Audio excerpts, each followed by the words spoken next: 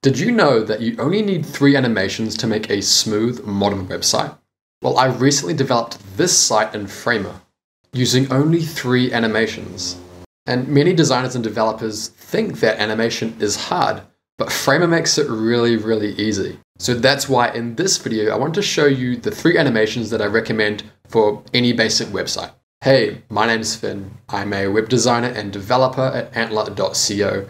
And on this channel, I teach you web design and development with real life projects. Now, let's get started. There's really only about three animations that you need for any website slide up for major headings, scale in for images, and fade up for basically everything else. With these three animations, you can make any website look smooth and modern. Now, make sure you stay till the end of the video because I'm going to be giving you a complete clonable of this website, which has all the same animations that I used in the client project. Let's get started with Slide Up. Slide Up is a really great animation for big headings, we can see here if we just scroll through this clonable here, we've got that first one coming in. This one comes up in the middle of the image, and then finally, this one here comes in at the bottom. So this would work really well for some sort of hero or header section. Now in Framer, when we actually select the heading, we can come down here to a part called effects. Now, if we click on effect, we can actually see all the information about what this effect is doing. So we come down here onto trigger, we can see that when this element appears, we're gonna have an effect. What effect exactly? Well, the way it works in Framer is that you set an initial state for that effect. As you can see on my screen right now, you can see that this animation starts with the heading being rotated down here. So five degrees of rotation, but we're also moving the heading down 247 pixels in the offset. So that's how the animation is gonna start. So if we click on ease here, we can actually see that this curve here is how this animation is going to play out. We can see it runs for 1.25 seconds. We can see there's no delay, so it comes in instantly. And we can actually modify this Bezier curve to get a slightly different effect of how this animation would come in. To use this animation in your project, what you can do is select over here, the heading, you can see it's got the star on it, that's how we know that it's got an effect applied. We can actually go right click and then go down to copy and we can copy effects. This is such a cool thing about Framer because now we can paste effects into literally any element. I can come down here, for example, to this home hero image and I can go paste effects.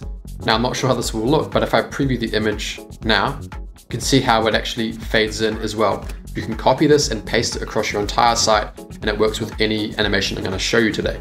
To get the same effect that I've got here on this maximum heading, just make sure that your headings are wrapped inside a container with its overflow set to hidden. Now let's move on to image scale.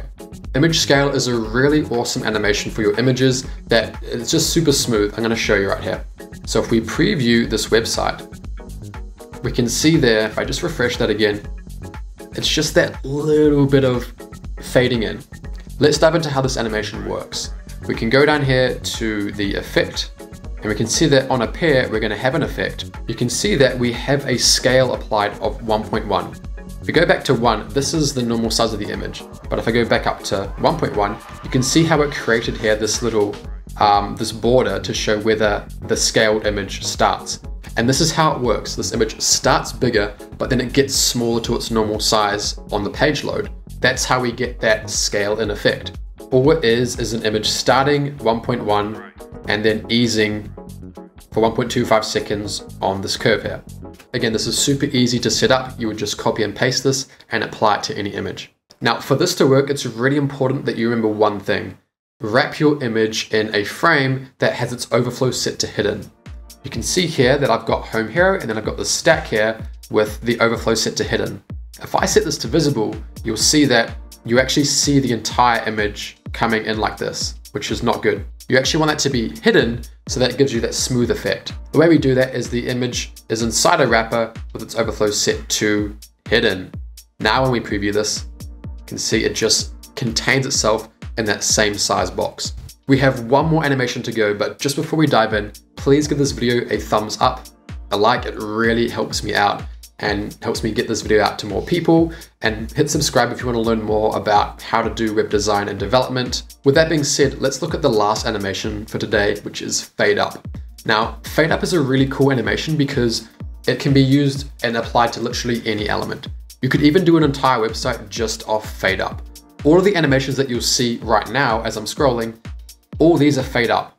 So this is literally, I've applied this fade up animation to all these elements. All it does is it just fades the image in and moves it up.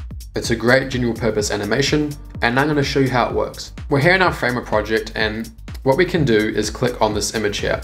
Now you can see that it fades up as we load the page. So you can see Home Hero has an effect applied to it. Let's go and check it out. So we can see our trigger here is layer in view, and we've got a effect here. Want opacity to start at zero. This means that it's gonna start and fade in to 100% opacity. And we're gonna offset it by 50 pixels downwards. Like Framer does, you can see here, like when you see any offsets in Framer, it does have the outline to show you where that would be. We go into the ease set and we can see our curve and you can just click here to see what that would look like in the animation. So as we scroll through this page, we can see that every single element has this fade up applied to it. And it's just a really simple, really nice animation that you can apply throughout your website. Thank you so much for watching this video and staying to the end. Like I said, I have a gift for you, which is a remix link this is like Framer's version of a clonable link from Webflow. Basically, you can go on the link and actually clone this project into your Framer workspace. And that way you can access all of these animations. You can just copy and paste them from my project and actually paste them into your one. That's what I have for you today. Thank you for watching and I will see you in the next video. Ciao.